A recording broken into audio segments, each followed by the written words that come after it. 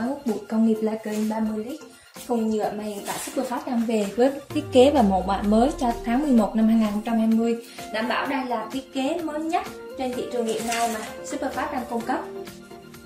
Với thiết kế màu xếp cũng như là độ ồn được cải thiện thì máy được cải tiến rất là nhiều và mang lại ừ, những công dụng tính năng đa dạng hơn. Đầu máy thiết kế màu xám và bên trong là chứa một motor 1800W cho lực hút lớn thiết kế ở bên trong còn có hai miếng xốp để giữ motor bảo vệ motor và giảm độ ồn. Máy hút bụi công nghiệp Lacry 330 lít. Ta có thể được sử dụng cho gia đình, nhà xưởng, văn phòng hoặc là những anh chị vệ sinh công nghiệp. Thang máy màu trắng à, được thiết kế bằng nhựa tổng hợp, chống va đập và không bị ảnh hưởng bởi hóa chất cũng như là dễ dàng sử dụng trọng lượng nhẹ bánh xe di chuyển ở trên 60 độ linh hoạt. Giúp chúng ta có thể ờ, di chuyển ở nhiều môi trường khác nhau. Thì đi kèm với máy vẫn là bộ phụ kiện bao gồm 6 mốt. Ống mềm dài 2,5 m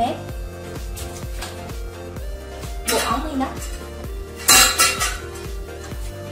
Bàn hút nước.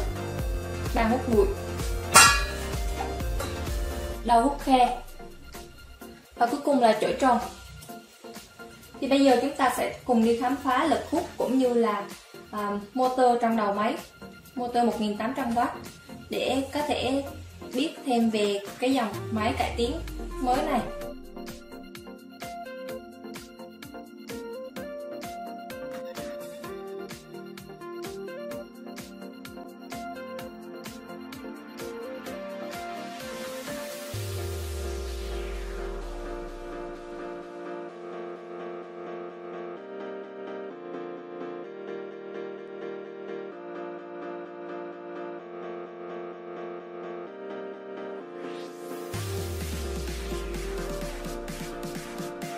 Hiện tại thì Superfast về hàng rất là nhiều và cung cấp toàn quốc trên thị trường. Thì quý khách hàng nào có nhu cầu sử dụng, vui lòng liên hệ vào website cũng như là số điện thoại đã thể hiện trong màn hình. Cảm ơn quý khách hàng đã theo dõi. Xin chào và hẹn gặp lại.